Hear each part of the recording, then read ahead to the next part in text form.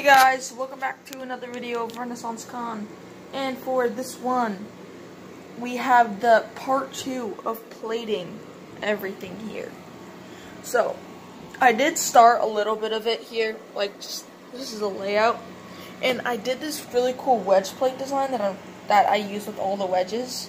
It looks really cool. I have another, I have a shipment of pieces coming in that'll fill out um, this area going down here. Like, definitely will work. And it'll basically fill up to this height too. So, that will be, look really, that would look really cool. And along with that, we're gonna have this little house thing. It's gonna do. I'm gonna have a separate video for building the house. Um, but anyway, we're gonna go and finish out the layout. Just have everything plated. It's not gonna be that far because I don't know why I did. I just saw all the pieces I have. This is all just like junk base plates. So let's get right into it. All right, guys, we are back. We have these this like laid down all the way. So we did make a quite a bit of progress, and if you can see something's changed over here, your big brains. We have changed the complete layout of this.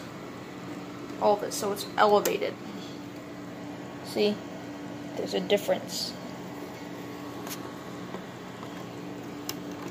A pretty decently sized one. So, it's exactly how I intended it to be. To have this little little buffer here, so it's different. Right? But I think this plate's not low. Yeah, this plate's completely offset. What the heck is going on?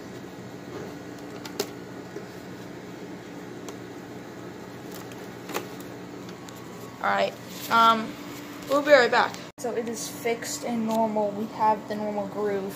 One of the uh, stabilizers was one plate too tall, so I just had to fix that real quick. Of course, we're getting a haul, as I mentioned before. If it's not here already, then, you know, we'll get an update to this video.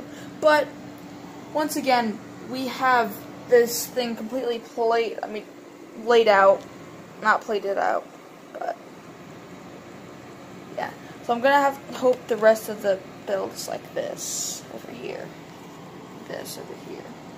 So, yeah we will be doing that in the next two or three videos because it is going to take a long time. One or two, probably just one or two. But thank you guys for watching and we'll see you in the next one. Peace.